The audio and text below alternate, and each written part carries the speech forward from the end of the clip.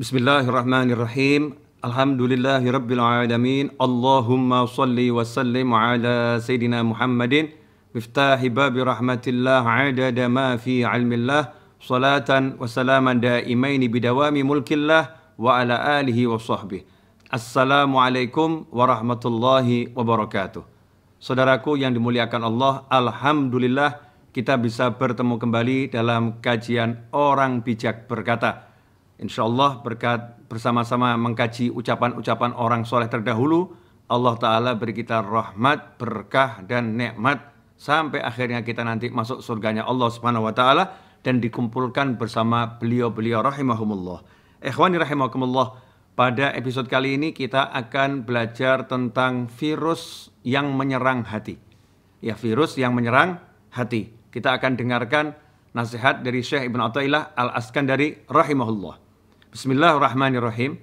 Jika ingin membersihkan air, maka akan kau singkirkan segala hal yang dapat mengotorinya. Anggota tubuhmu ini seperti selokan-selokan yang bermuara ke hati.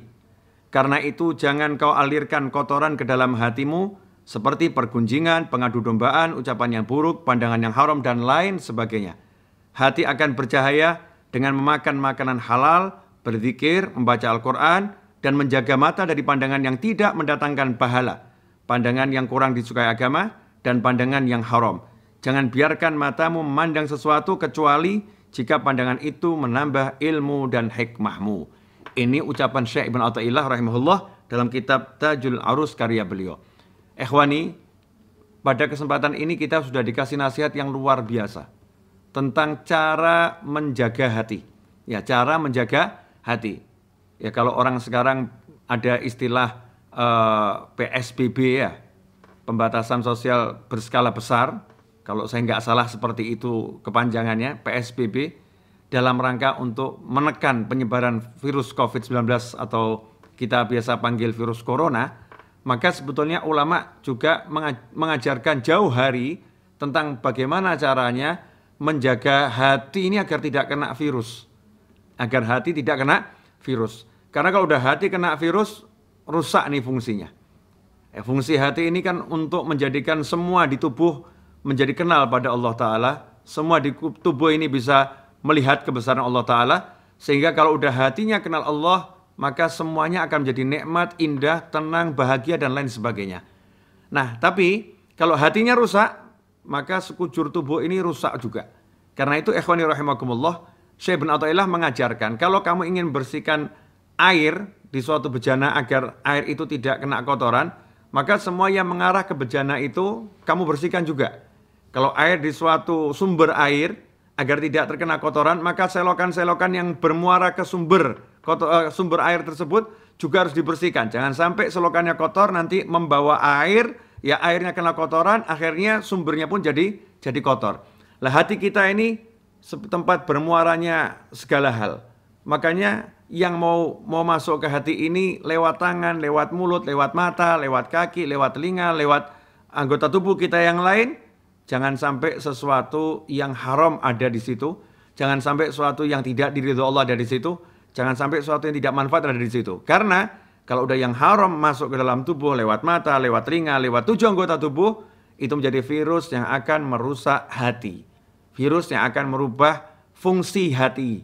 Ya, sehingga ketika hatinya sudah kena virus, maka ya jadinya nggak enak semua. Karena sumbernya di sini. Kalau udah ininya salah, ya ininya salah, ya hidupnya akan jadi salah.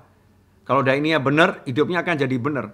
Makanya kalau kita mau tahu hidup kita ini benar atau atau bagaimana kita lihat sekarang ini. Sumbernya dari mana? Dari sini loh, dari hati. Nah hati ini dari mana? Kita lihat lagi ternyata hati dari tangan, dari mulut, dari mata, dari pendengaran, ya dari kaki. Kita lihat nih tangan kita ini melakukan yang baik atau tidak. Mulut kita bicara yang baik atau tidak. Gunjing orang, ribah, namimah, memperbincangkan keburukan orang, merendahkan orang dengan pandangan kita, pandangan yang meremehkan, telinga mendengar yang nggak baik, tangan melakukan yang buruk, semua itu akan langsung masuk ke dalam hati. Seperti kita mengotori diri kita sendiri. Dengan perbuatan yang buruk, ucapan yang buruk, kita lagi mengotori diri kita sendiri. Nah kalau udah dirinya kotor, ya nggak enak. Ya kalau kotor nggak, nggak enak. Semuanya jadi tidak enak. Ikhwani rahimakumullah. Karena itu pelajaran yang luar biasa, hikmah yang luar biasa dengan adanya virus COVID-19 Corona ini adalah kita bisa lebih memahami ajaran ulama terdahulu. Salah satunya yaitu menjaga kebersihan. Karena nggak mau kena virus, nggak mau kena corona, dijaga tubuhnya, lingkungannya, jangan sampai kotor, jangan sampai kotor, sampai orang disemprot disinfektan, ya sebentar-sebentar cuci tangan, ya sebentar-sebentar cuci tangan, pakai masker, biar apa nggak kena kotoran karena dikhawatirkan nanti ada yang virus di dalamnya, jangan sampai kena uh, apa namanya percik-percik air dari bersihnya seorang agar nggak kena virus. Hati-hati yang luar biasa karena takut terkena virus corona. Seandainya kita jaga hati kita, minimal seperti menjaga tubuh dari virus corona, maka akan selamat semuanya. Hati kita ini akan selamat. Nggak mau dengar orang riba. Nggak mau dengar orang gunjing. Nggak mau dengar orang ngomong haram. Dengar yang haram dikit, alergi langsung. Segera menyingkir, menjauh. Ada orang ngomong haram, langsung menyingkir, menjauh. Takut hatinya kena kotoran. Nggak mau melihat yang haram. Begitu ada yang haram, langsung pandangan dipad, apa, ditundukkan. Biar apa? Biar hatinya nggak kena kotoran. Kalau kita jaga seperti itu, maka hati kita sehat. Hati kita bersih. Kalau udah hatinya sehat, hatinya bersih, semuanya jadi enak. Yang dilihat pun jadi enak. Imbasnya apa? Begitu hati bersih, hati ini akan memerintahkan mata untuk melihat yang baik-baik. Jadi mata pun nggak akan melihat yang nggak baik. Begitu lihat dengan mata, yang kelihatan baik. Mendengar dengan telinga, yang terdengar baik. Sehingga bisa melihat kebaikan, mendengar kebaikan, dan berbicara yang baik ketika hati menjadi baik. Ikhwani rahimakumullah. Sedikit kita belajar ajaran orang Jawa terdahulu.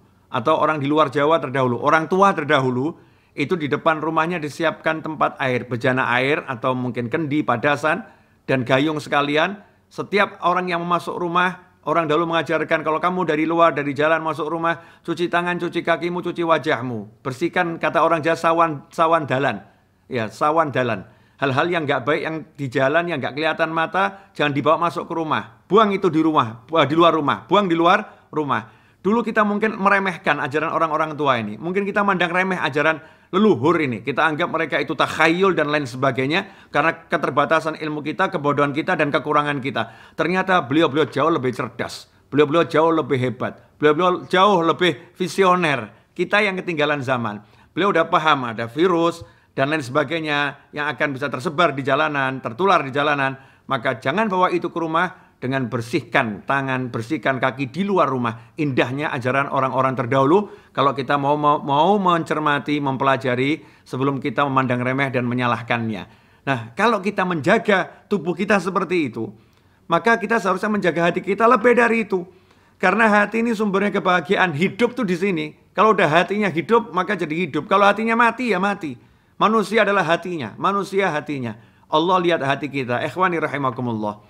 Karena itu mari kita menjaga atau kalau bahasa sekarang ini PSBB, anggota tubuh kita ini kita batasi jangan melakukan yang dilarang Allah Subhanahu wa taala, jangan kontak dengan dilarang Allah taala agar hati kita selamat dari virus. Hati kita selamat dari virus sehingga bisa kenal Allah Subhanahu wa taala. Kalau udah hati ini kenal Allah, ala bidzikrillah tatmainnul qulub. Ketahuilah dengan ingat sama Allah, maka hati itu menjadi menjadi tenang. Nikmatnya luar biasa dengan ingat Allah tenang, sukun, sakinah, hidup pun menjadi indah. Semoga Allah Ta'ala merahmati kita semua dan semoga yang sedikit ini berkah dan manfaat. Walafu minkum wa sallallahu ala Muhammadin wa alihi wa sallam walhamdulillahi rabbil alamin. Wassalamualaikum warahmatullahi wabarakatuh.